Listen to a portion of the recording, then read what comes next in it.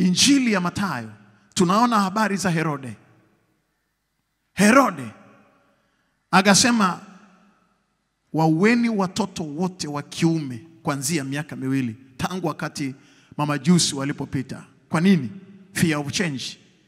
Anataka watoto wa kiume wauawe kwa sababu mamajusi walipofika wali, walikuwa na introduction, walimwambia yuko wapi huyo aliyezaliwa mfalme wa Wayahudi?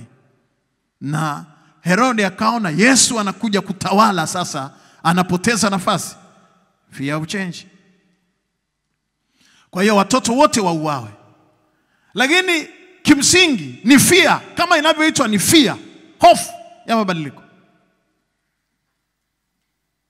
Na hii ilikuwa ni, ni, ni, ni hiyo tunayosema ni eh, eh, metathesofobia ya, ya Herode aka akauawa watoto wasiokuwa na hatia. Biblia inasema kilio kimesikika Rama, Raheli akiwalilia watoto wake asikubali kubembelezwa kwa maana hawapo.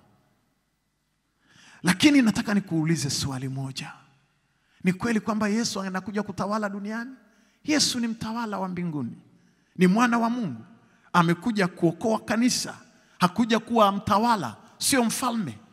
Kwa nini watoto wachanga wanauawa? Kwa nini watoto wa kiume damu zimemwaga juu ya uso wa nchi? Fear of change.